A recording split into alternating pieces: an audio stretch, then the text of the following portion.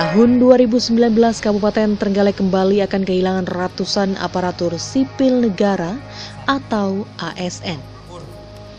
Pasalnya berdasarkan batas usia pensiun atau BUP, ratusan ASN tersebut sudah mendekati masa purna tugasnya.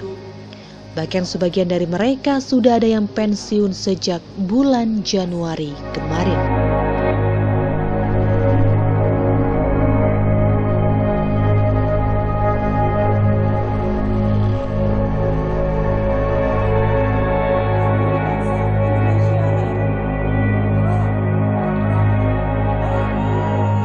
Berdasarkan data batas usia pensiun yang dihimpun Badan Kepegawaian Daerah Kabupaten Trenggalek, pada tahun 2019 ini jumlah ASN Trenggalek yang akan memasuki masa purna tugas sedikitnya ada 429 orang.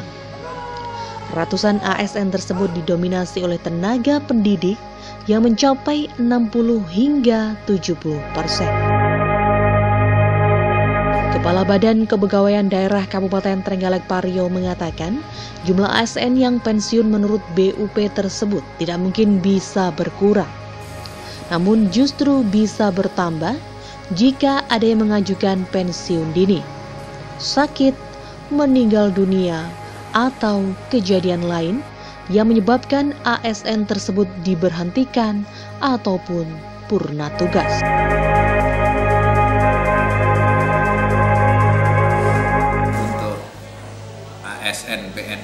Kabupaten Trenggalek yang saat ini jumlah pegawainya kurang lebih 8.000 an 8.000 7.800 sekitar gitu.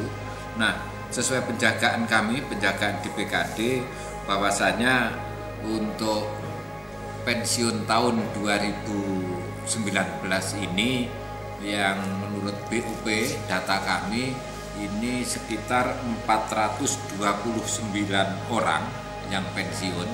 Namun tidak menutup kemungkinan nanti ada yang biasanya mengajukan pensiun dini atau sakit dan sebagainya.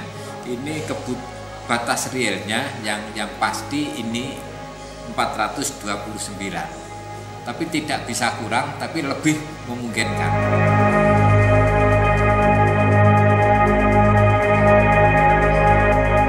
diketahui bahwa berkurangnya ASN di Trenggalek akibat purna tugas ini sudah terjadi sejak awal tahun 2019 kemarin. Pada bulan Januari kemarin sudah ada 35 orang yang pensiun. Bulan Februari ada 28 orang, Maret 27 orang, April 30 orang, Mei 38 orang, Juni 39 orang, Juli 45 orang, Agustus 39 orang, September 44 orang, Oktober 39 orang, November 34 orang dan Desember 31 orang.